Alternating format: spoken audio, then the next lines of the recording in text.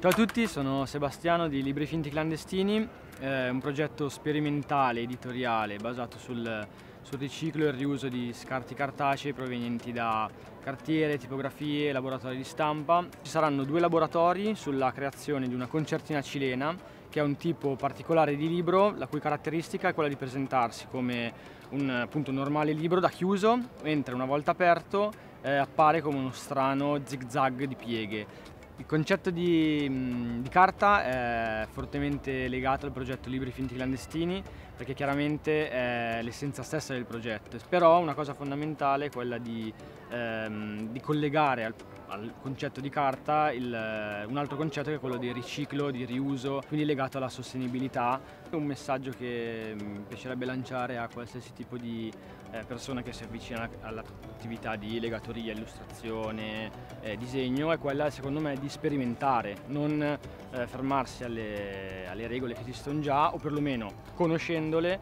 cercare di eh, rompere le regole un po', sperimentare senza porsi limiti.